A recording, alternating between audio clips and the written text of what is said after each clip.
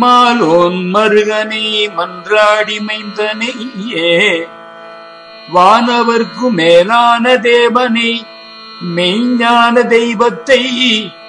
மேதினியில் சேரார் வயல் பொழில் செங்கோடனை சென்று கண்டு தொழ. நாலாயிரம் கண் படைத்திலனே அந்த நான்முகனே.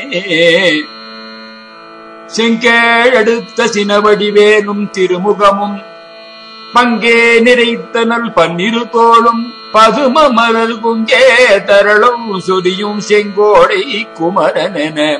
எங்கே நினைப்பினும் அங்கே என் முன் வந்து எது நிற்பனே? செங்கோடி குமரனென எங்கே நினைப்பினும் அங்கே என் முன் வந்து எது நிற்பனே? முருகாசரணம். திருச்செங்கோட்டில் எழுந்தருளியிருக்கும் திருமுருகப் பெருமானை அவருடைய திருக்கோவிலுக்கு சென்று கண்குளிரக் கண்டு வணங்கும் பொருட்டு அந்த பிரம்மதேவன் அடியனுக்கு நாலாயிரம் கண்களை படைக்கவில்லையே என்று சான்றோர் இந்த பாடலுக்கு பொருள் கூறியிருக்கிறார்கள். ஆனால் தரிசனம் செய்ய அந்த நான்முகனுக்கே அவ்வாறு நாலாயிரம் கண்கள் இல்லையே என்று பாடுகிறாரோ என தோன்றுகிறது.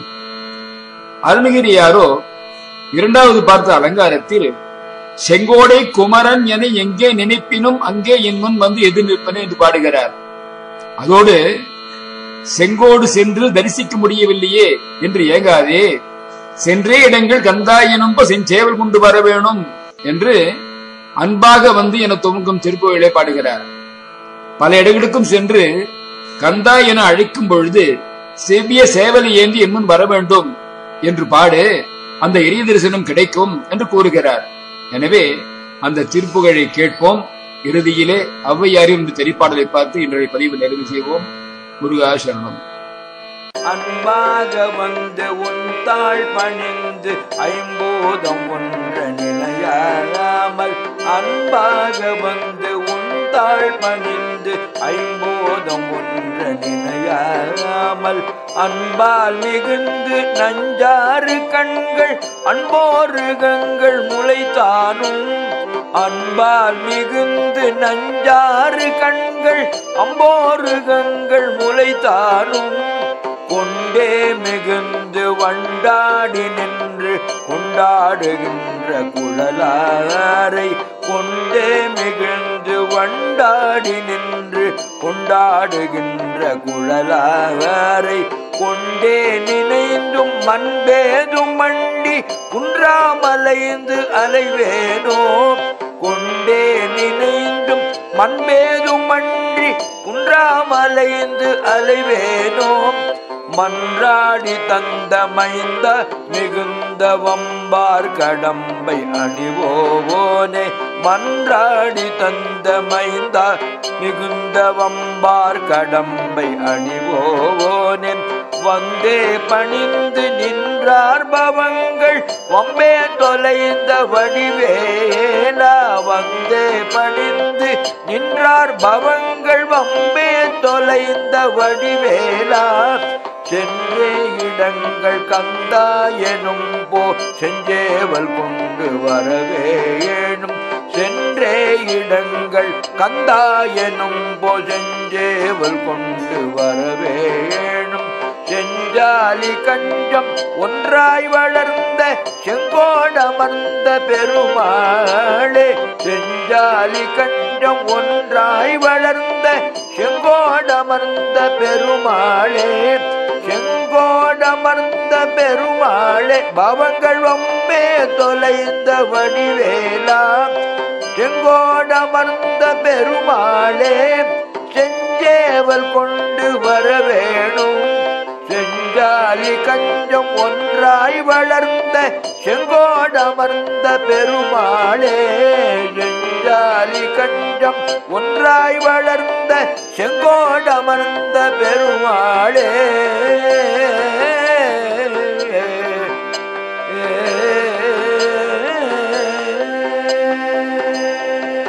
அன்பாக வந்து உன் தாழ் பணிந்து ஐம்பூதம் ஒன்ற நினையாமல்.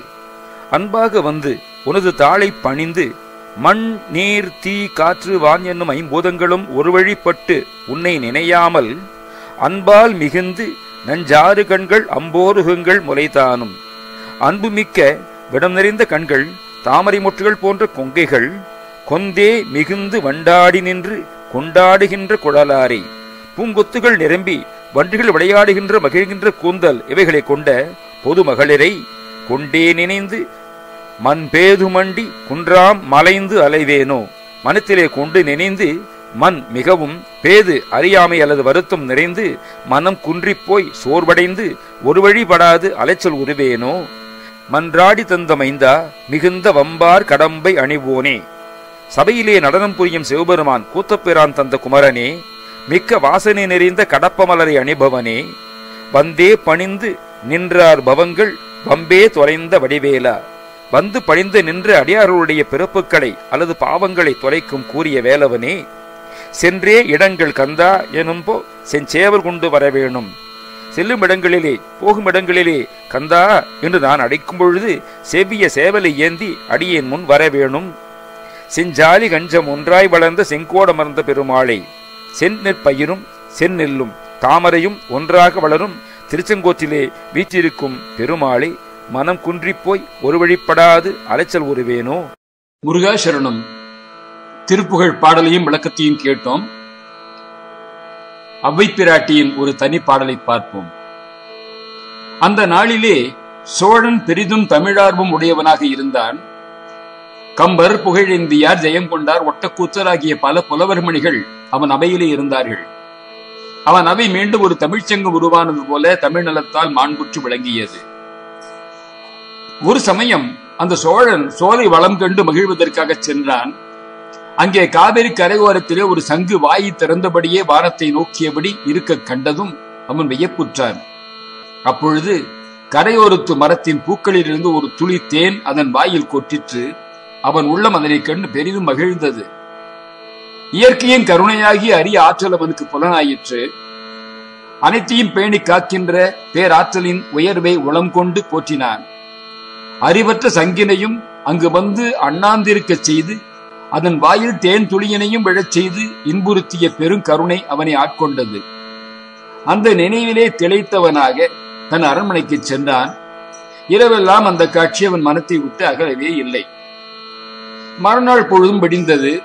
சோழனின் நாளோலக்க அவையும் கூடிற்று. மன்னன் அவை நாயகனாக அமர்ந்திருந்தான். புலவர்களும் அமைச்சர்களும் தளபதியருமாக அனைவரும் அங்கே ஒருங்கே திரளாக கூடியிருந்தார்கள். அப்பொழுது ஔவையார் சோழனின் அவையுள் மெல்ல நடந்து வந்தார். அவரை கண்டதும் வருகை என்று வரவேற்றான் மன்னன். அமர்க எனவும் சொன்னான். ஆனால் அங்கே அமர்வதற்கு இருக்கை எதுவும் இல்லாததை கவனிக்கவில்லை. அது பற்றி எவரும் கவலைப்படவும் இல்லை. ஔவையாரோ நெடும் தொலைவில் நின்றும் நடந்து வந்தவர். பல நாட்களாக நடந்து சோர்ந்து போயிருந்தவர். தம் களைப்பையும் சோழனை காண வேண்டும் என்ற ஆர்வத்தின் மிகுதியினாலே தம் களைப்பையும் மறந்து உடனே சென்றவர். அவரை அவன் முறையாக கவனிக்காது. எவரையோ வரவேற்பது போல வருக அமருக என்று சொன்னது அவருக்கு மிகவும் வருத்தத்தை தந்தது. உடனே அவ்வியார் பாடினார் கால் நொந்தேன் நொந்தேன் கடுகி வழி நடந்தேன் யான் வந்த தூரம் எளிதன்று. கூனல் கரும் தேனுக்கங்காந்த காவிரி சூழ்நாடா இருந்தேனுக்கு எங்கே இடம்? என்று பாடினார். சோழன் வந்தவரை ஔவையார் என்று அறிந்து கவனித்தான் இல்லை. அவன் மனமோ முன்னாளில் கண்ட அந்த அதிசய காட்சியிலே முற்றும் நிலைத்திருந்தது. அதனாலே தான் அவருக்கு இருக்கி தருமாறு எவரையும் ஏவினான் இல்லை. எனினும் இந்த பாடலை கேட்டதும் அவன் உள்ளம் தெளிந்து பூரிப்படைந்தது. தீபசக்தி உடையவர் போலும் நான் நேற்று கண்ட காட்சியை அங்கனவே உரைத்தனரே என்று வியந்து அவரை அன்புடன் வரவேற்று உசாவினான் அவரே ஔவையார் என்று அறிந்ததும் அவன் உள்ளம் அளவிலா ஓகி அடைந்ததுதான். கண்ட அந்த இனிய காட்சியை தன் அவையினருக்கு உரைத்து அதனையே அறிந்து உரைத்த ஔவையாரின் ஞானச் சிறப்பையும் போற்றினான். சங்கானது மிகுதியான தேனை பருகுவதற்காக தன் வாயை திறந்து மேல் நோக்கியபடி இருக்கின்ற வளமுடைய காவிரியாற்றால் சூழப்பெற்ற நாட்டிற்கு உரியவனே. இன்னை காணும் ஆர்வத்தாலே விரைவாக வழியினை எல்லாம் நடந்து கடந்தேன். என் கால்களும் மிகவும் நோவுற்றன. நான் கடந்து வந்த தூரமோ கடத்திற்கு எளிதல்லாத மிக்க நெடுந்தூரமாகும். அங்கனம் வந்து நீ அவைக்கண் நின்றிருக்கும் எனக்கு அமர்வதற்கு ஏற்ற இடம்தான் எங்கேயோ என்பது செய்யுளின் பொருள். கூனல் என்றால் சங்கு நத்தை என்றும் கூறலாம். கூனலுக்கும் கருந்தேன் கிடைக்கின்ற நாட்டிலே புலவரான எனக்கு மட்டும் இருக்க ஓர் இடம் கிடைக்காதோ? நின் அன்பு பரிசிலும் வாயாதோ என்று குறிப்பையும் இந்த பாடல் கொண்டிருக்கிறது முருகாசரணம்.